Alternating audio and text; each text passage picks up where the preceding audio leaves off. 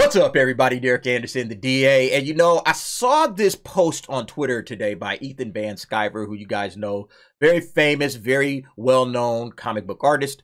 And uh, he had this to say a few years ago a lot of hashtag strange women entered the comics biz and began exerting pressure on creative people about how we depicted and displayed the female form. Comicsgate notice. And of course, they have this uh, article that he posts 12 lady superhero costumes redesigned by the ladies, okay? And it goes into this on this BuzzFeed article. Gentlemen, we need to chat because real talk, you seem to have only the vaguest concept of how clothing functions.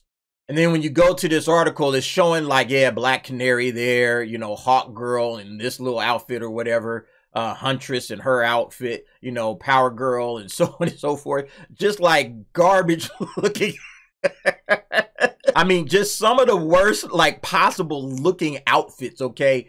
And it comes from a place of not understanding whatsoever like the audience of people that are actually here to watch and read this material.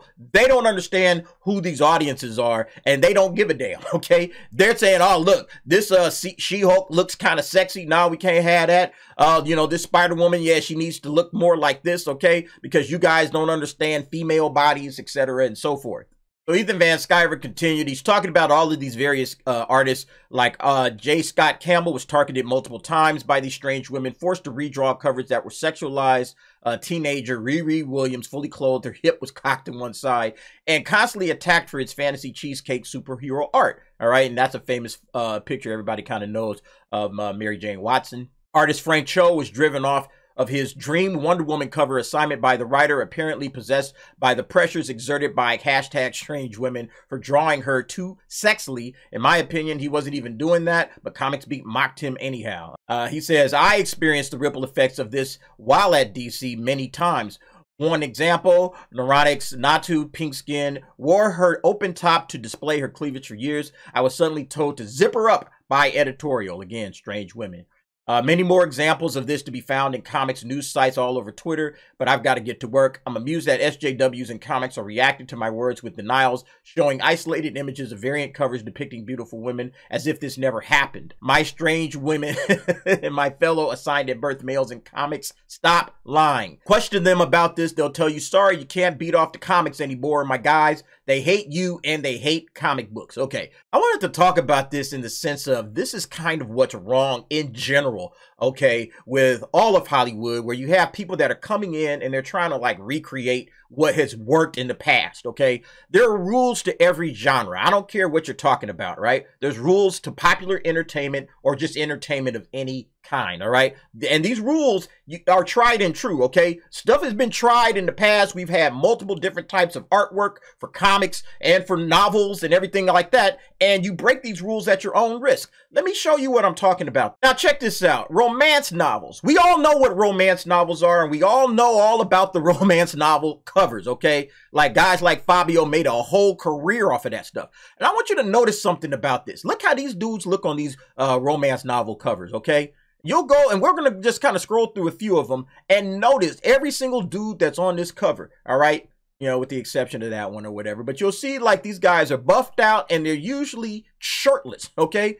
Every single one of them buffed out, maybe wearing a tank top. But most of these dudes on here, okay, look, shirtless, you know, with his chest all poked out. All right, this thing, it's like regular people recreate cheesy romance novel covers. Yeah, I guarantee you that this thing sold way better than this one over here. All right.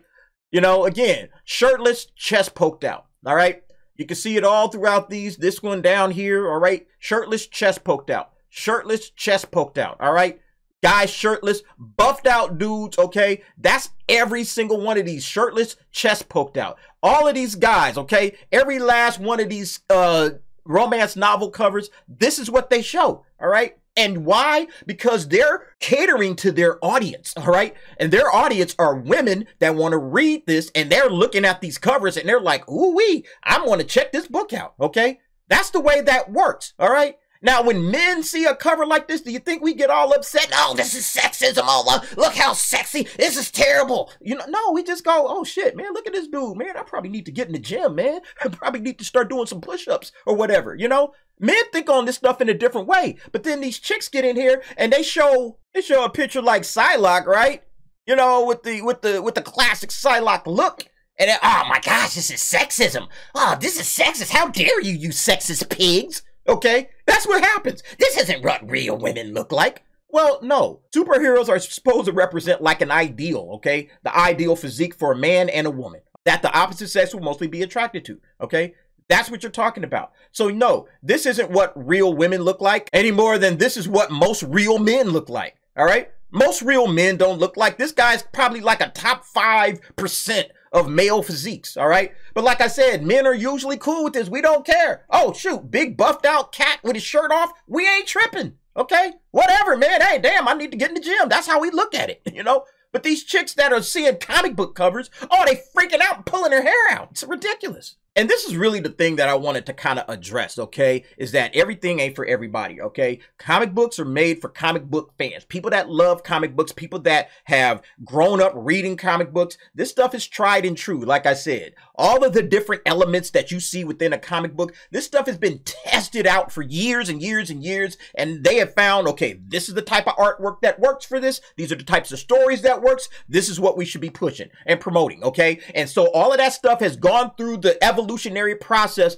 of writing, drawing, the whole nine yards, all right? So when Van Sciver is saying here, this is another thing SJWs used to gaslight us with 10 or so years ago, shouldn't we be trying to make comics for everybody, right? So in other words, in the way I kind of equated to this other situation, we'll draw bodies and draw people that will not offend anyone. You know, we should be making this for everybody. And he says, no, we should be trying to make comics for people who like comics and buy comics. Chasing phantom audiences is what got us into this mess. This is where I was coming from. My response was, and this is how entertainment works, folks.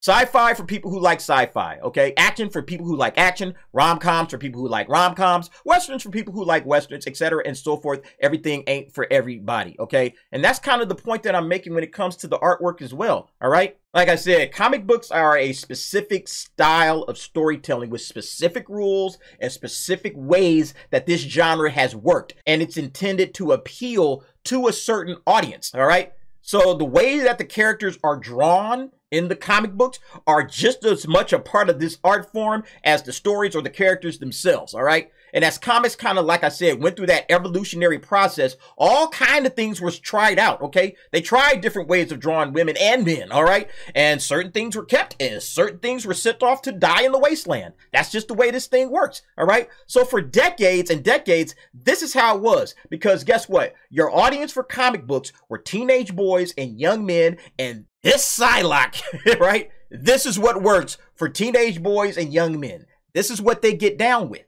So why do they draw the Scarlet Witch like this? Because this is what sells books, all right? This is what sells comic books to the intended audience. This is the kind of artwork and those types of stories is what keeps paying customers paying, okay? And when you try to go off in a different direction, it doesn't work. And we and see we understand that with romance novels, don't we? We understand that with romance novels. Oh, these are going to have these certain types of covers, okay? You're going to have buffed out dudes, you know, seducing young women looking all sexy and everything like that. that's fine. We have no problem with that, okay?